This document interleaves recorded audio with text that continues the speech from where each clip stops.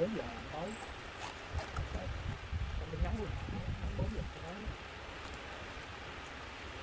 lại đi sớm đi thấy không? Xuống cái hàng cái đội mới nhắn gì? Có chút gì đó, nhắn là 8 giờ đủ, mới 6 giờ có người đi xếp hàng. Đi kìa 8 giờ 6 rưỡi có người đi. 8 giờ 6 giờ 6 mấy là có người xếp hàng.